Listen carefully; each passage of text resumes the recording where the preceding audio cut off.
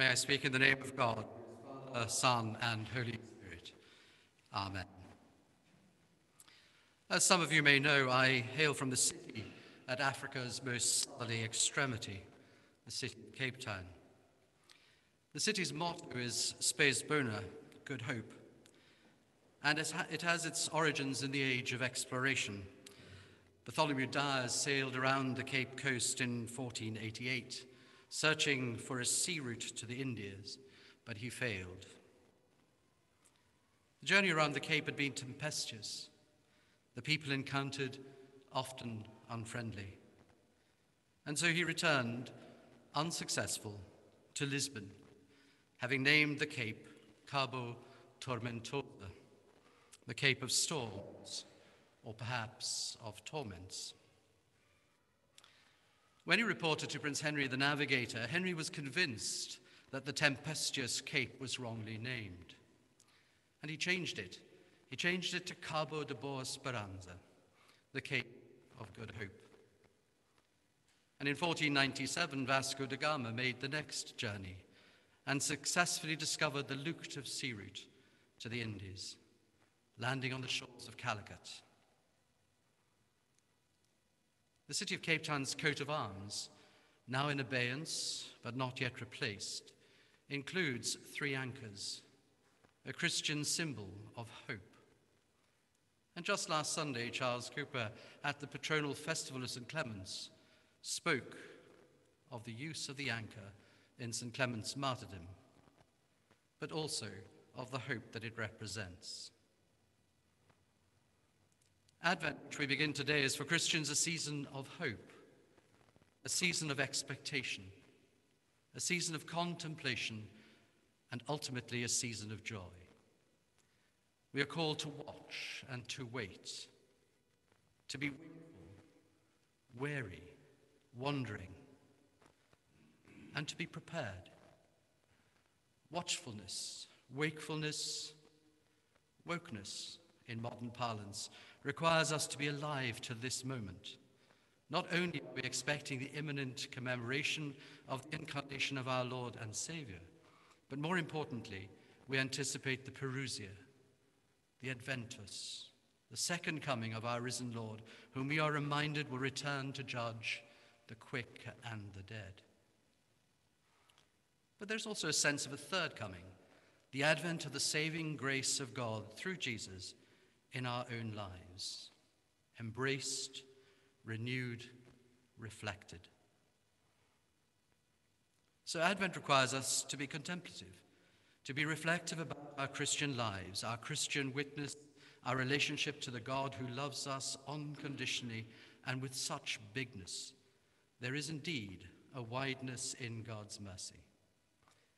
This God who so loved the world gave his only begotten Son that whomsoever believeth in him should not perish, but have everlasting life.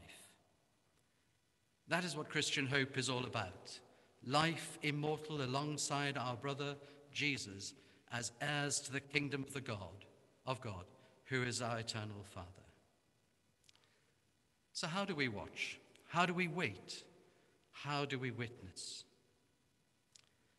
well, I would suggest that much of this could be accomplished through prayerful engagement with God, that we should, in preparation for the greatest gift of all, spend some time in reflective mode, counting our blessings, exploring and deepening our relationship with the God who loves us, through reading of Scripture, through prayer, through worship, through fasting, seeking out our neighbors in need, addressing aspects of our own lives, our relationships, where we have may have fallen short of the mark, seeking out those darker recesses to open them to God's forgiving light.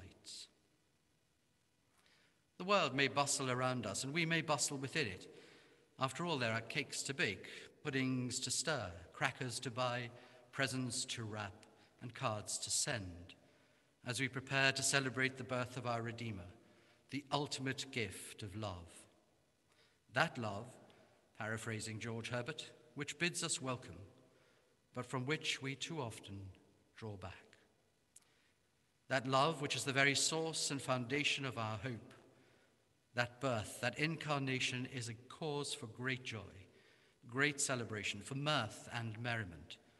So let us not be too Scrooge like as we survey our neighbours bustling towards Christmas.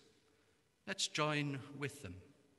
Let us, with love, proclaim the message of hope. John Donne sent a group of friends a signet ring with an anchor on it, with a crucified Christ included upon it. One of which went to George Herbert, and that prompted a short poem entitled Hope.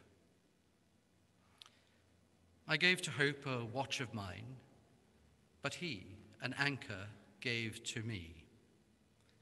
Then an old prayer book I did present, and he an optic sent.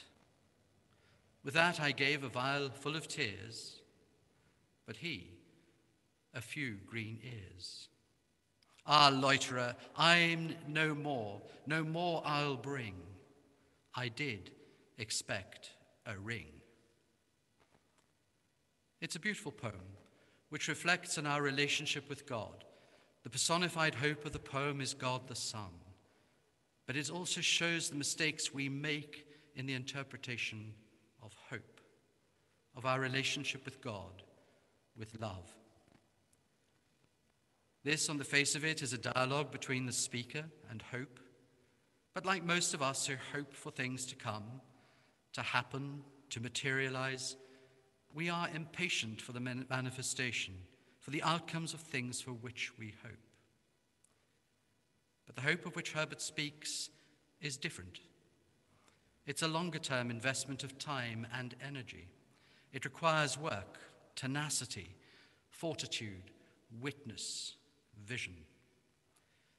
There is a reciprocity in this relationship, but it appears that for the speaker, he feels that he is making all the effort, giving time, a watch of mine, prayers and supplication, reading and worship, the well worn, well thumbed old prayer book, and suffering for it, the vial of full of tears, the anguish of it.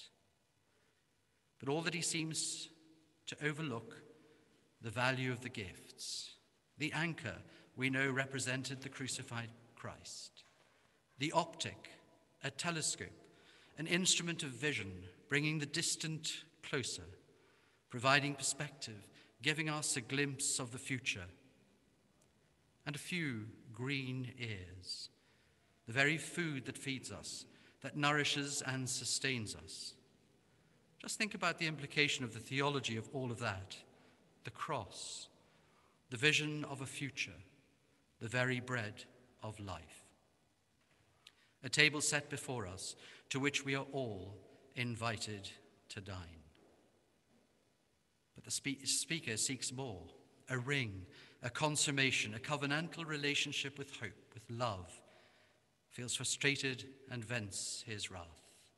Our loiterer, a time waster. How often do we feel like that? But it is to miss the very point. Christian hope is founded on a firm belief that what God promises, he will deliver. And therefore, we ought, in the words of St. Peter, to gird up the loins of our mind, be sober, and hope to the end for the grace that is to be brought unto us at the revelation of Jesus Christ. That is what Advent is all about. So, yes, we need to watch, we need to wait. But I also mentioned wokeness, a newish concept which may be defined as the state of being aware, especially of social injustice, of prejudice, of inequality, the lack of love of neighbor. Love worketh no ill to his neighbor.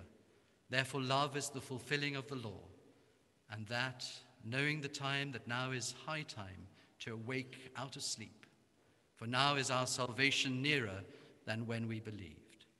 Behold, thy King cometh unto thee. This truly is the spes bona, the good hope for all the world. So watch, be awake, be woke. Enable God's kingdom to come in earth as it is in heaven so that we may pray fulsomely and daily the words of the Advent Collect. Almighty God, give us grace that we may cast away the works of darkness and put upon us the armor of light.